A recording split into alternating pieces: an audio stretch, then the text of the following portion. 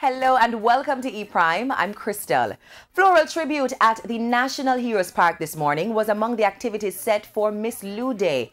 In her message to mark this national commemoration of the 98th anniversary of the birth of the Honorable Louise Bennett Coverley, Minister of Culture, Gender, Entertainment and Sport, the Honorable Olivia Grange says that the government's plans are moving ahead to establish the Miss Lou Square in Gordontown, St. Andrew, in tribute to the mother of Jamaican culture. And I take great pride in announcing that the Public Investment Management Secretariat, PIMSEC, has approved the establishment of Miss Lou Square in Gordontown, a lasting tribute to the Honorable Louise Bennett Coverley. The centerpiece of Miss Lou Square will be a statue of the cultural icon to be completed in time for her 100th birthday. During this month, we will highlight her rich and diverse catalogue of work. Now, Thank You Miss Lou, a tribute concert, is underway at the Louise Bennett Garden Theatre. And of course, E-Prime will have highlights tomorrow. The Damian Marley Stony Hill Tour is in full swing. Marley kicked off his fall tour on September 1 in Minneapolis, USA, and tonight he performs to another sold-out crowd in New York. Now, Damian took a detour to make a guest appearance with Jay-Z on the 2017 Made in America Festival in Philadelphia, performing their collab BAM from Jay-Z's 444 album.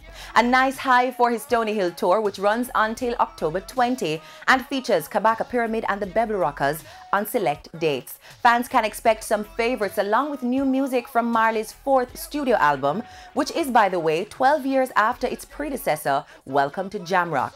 Stony Hill, which was released in July, is the usual polished production with social commentary about the power of people, love, and Damian's latest sensitizing campaign on medical marijuana. Rolling Stone, speaking about the album, says it's a reminder that reggae remains a potent pop force, especially when it's in the hands of a master. Devin Di Dakta and Corey Todd have managed to work out their differences, sparing each other a legal battle in criminal court.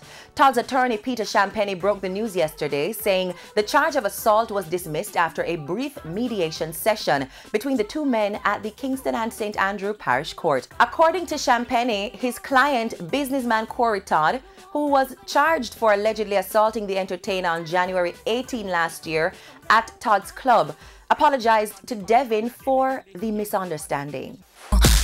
Look what you made me do. True words from singer Taylor Swift, who smashed the Billboard dreams of Despacito. Taylor sits in this week's number one spot, according to Billboard, denying Despacito a 17 week run, which would have broken the highest record of 16 weeks at number one, set by Mariah Carey back in 1995 with One Sweet Day.